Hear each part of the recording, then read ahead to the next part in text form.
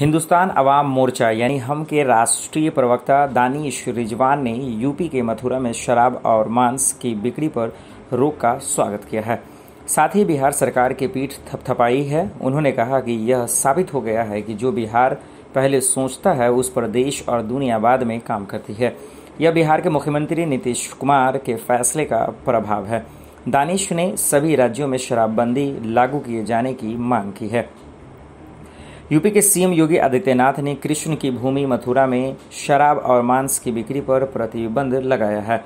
मथुरा के तीर्थ क्षेत्रों में शराब और मांस की बिक्री पर रोक लगा दी है। वृंदावन, गोवर्धन, नगदा नगदगांव, बरसा, गोकुल, महावन और बलदेव सिंह यह प्रतिबंध लागू होगा।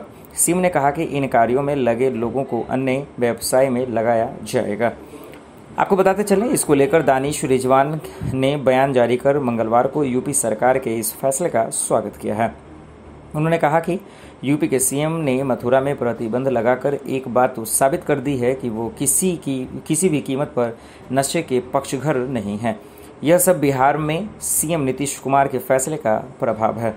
हम प्रवक्त हम प्रवक्ता ने भी कहा है कि अब स्पष्ट हो गया है कि बिहार जो पहले सोचता है उसके बाद पूरे देश और दुनिया के बारे में सोचती है। उन्होंने अब अन्य राज्यों में भी यह कदम उठाने की मांग की है।